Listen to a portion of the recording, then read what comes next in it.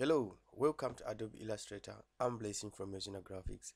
Guys, I'm gonna show you a short video on how you can change an image into lines. Alright, let's start. You select um, a silhouette, any silhouette you like. You input it into Adobe Illustrator. It's gonna come out like this. You go to image trace, you expand it and then you right click and then ungroup it. And then you select the the magic wand tool select the black the black then you select your selection tool you move it to your to your right and then we want to select the white the whites as well. And then you delete. We don't need it anymore. Selection tool back and then we select our silhouette put it on the center. Right.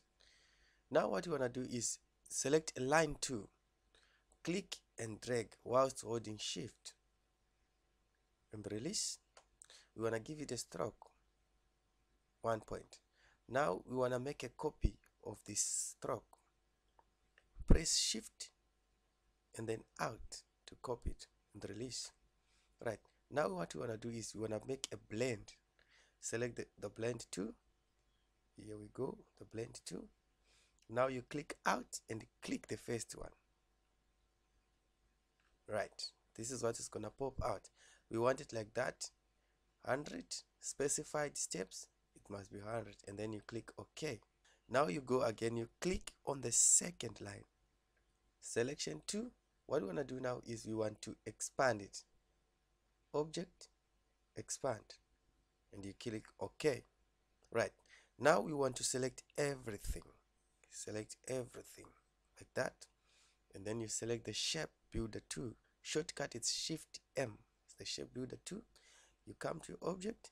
Well now we want to subtract the outlines. Right you click out and then you drag your shape builder tool. You drag it like that. Right it's gonna subtract. Let's go to the top. Click out and then you drag release right? We want to zoom in so we can see properly there like that. Our shape builder tool shift m and then you click out. And then you select like that. And release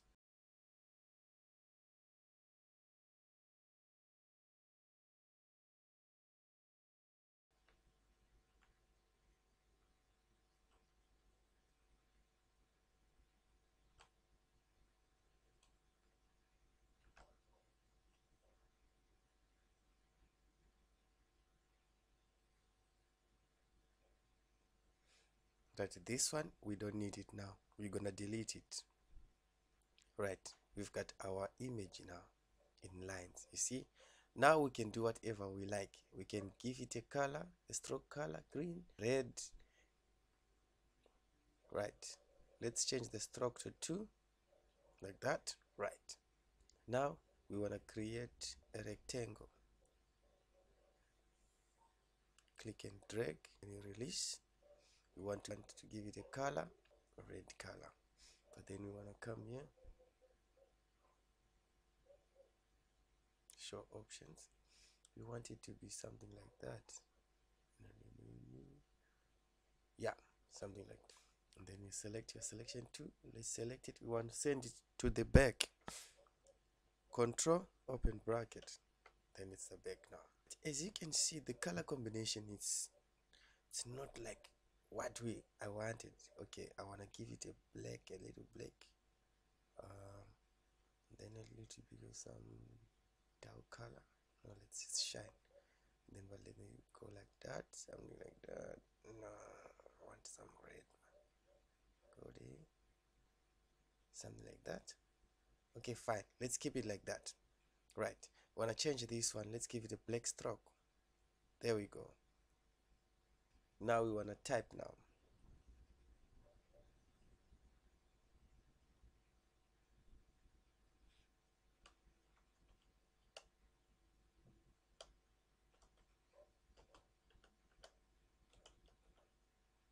Ladies night. And then it's right like that. Let's double click here. Right. And then let's put it on the center. We want to zoom it like that the center tab 2 there we go. Ladies night. Let's change the tab. Let's go to change case uppercase title case. There we go. Now we want to change our font. Control T. And so we go there. And then we go there. Mm. give it um, a white color. Yeah red is fine but then we're gonna do a control copy control fill. And then we're gonna do something like that. We want to give that one. This one here let's give it a white color. Something like that. And then this one we want to let it be yeah right. Now it looks nice. Thank you for watching guys. Please don't forget to like and subscribe to our channel i'm blessing from your graphics. Thank you. There's more videos coming